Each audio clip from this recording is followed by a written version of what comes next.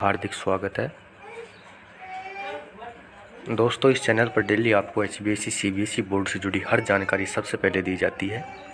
अगर आप हरियाणा विद्यालय शिक्षा बोर्ड और C B S E board के स्टूडेंट हैं तो बड़ी ज़बरदस्त खुशखबरी आप सभी के लिए। जो लंबे समय से विद्यार्थी इंतज़ार कर रहे थे कि पास फार्मूला तैयार कैसे किया जाएगा विद्यार्थियों के लिए, वो बोर्ड ने जारी कर दिया है।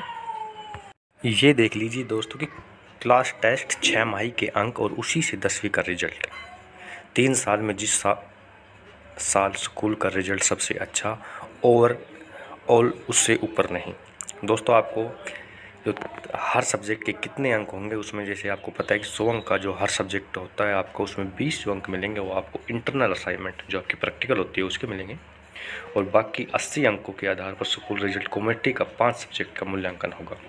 दोस्तों, इसमें जो अस्सी अंक का जो आपका बंटवारा जो किया जाएगा, वो किया जाएगा। पहला टेस्ट जो आपका क्लास में जो होता था, जैसे दस अंक का होता था, दूसरा टेस्ट जो छः माही, उससे आपके तीस अंक लिए जाएँगे और तीसरा टेस्ट जो आपका प्री बोर्ड की जो परीक्षा हुई थी, उससे आपके चालीस अंक लिए जाएँगे। यदि किसी स्कूल में टेस्ट कम या ज़्यादा हो तो रिज़ल्ट की कमेटी अंकों का बंटवारा उस आधार पर भी तय कर सकेगा। दोस्तों, तीन आधार पर आपको पास किए जाएँगे और ये सीबीएसई बोर्ड का फैसला है। वीडियो को रोक कर आप अच्छी तरह से पढ़ सकते हैं इसमें। तो आपको पता है कि जैसे सी बी एस ई अपना कोई निर्णय लेती है, उसके तुरंत बाद एच बी एस सी अपना निर्णय लेता है और H B S C C B S E की कॉपी करता है। ये आपको पता है कि जैसे सी बी एस ई ने पास किया तो एच बी एस ई ने पास किया।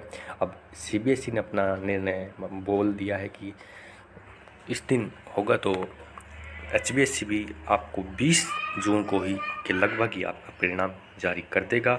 सी बी एस ई बीस जून को रिज़ल्ट घोषित करेगा। तो बड़ी अच्छी अपडेट थी आप सभी के लिए। वीडियो अच्छी लगी तो वीडियो को लाइक करें और अपने दोस्तों के साथ शेयर करें। भगवान करें दोस्तों, आप सभी का दिन शुभ रहेगा